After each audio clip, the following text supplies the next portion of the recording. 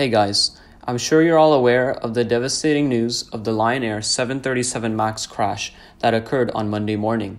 Before I begin, I would just like to say that I am deeply saddened at this tragic event, and my heart goes out to all those who were killed in the crash or otherwise affected by it in any way.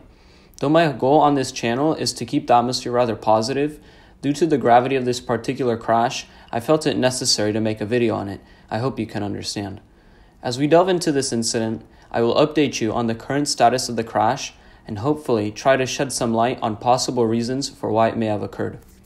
Lion Air flight JT610 took off Monday morning from Jakarta, Indonesia on October the 29th carrying 189 people on board.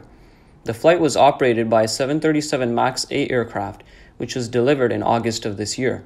This is rather troubling because the aircraft was brand new, delivered just a few months ago, and new aircraft usually do not go down so soon after being put into service. 13 minutes after takeoff, the plane experienced a sudden 700 foot drop, which you can see in the screenshot from Flight Radar 24, before plummeting into the sea, killing everyone on board.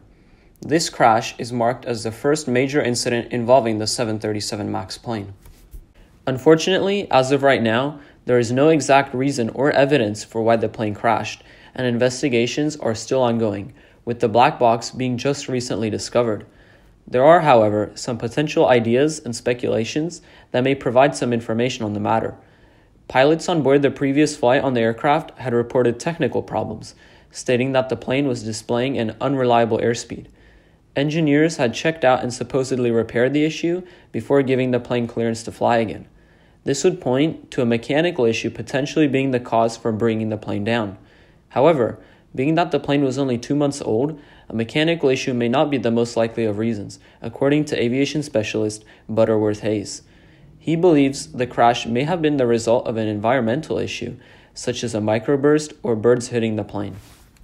Another thing to consider is the airline's safety reputation. Lion Air, as well as most other airlines in Indonesia, do have a fairly poor safety record. Lion Air themselves have experienced a number of crashes, most recent being Flight 904 back in 2013, where the aircraft crashed into the water on final approach just before the runway.